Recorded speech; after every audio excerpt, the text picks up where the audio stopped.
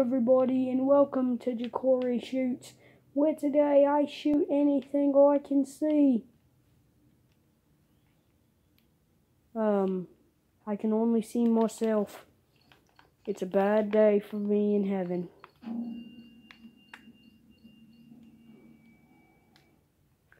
JK, I'm about to kill a bear with one sniper bullet.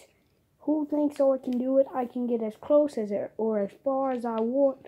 Let's see this in action. Now, where's my target? Oh, it's all the way down there. Did it kill it? Nope.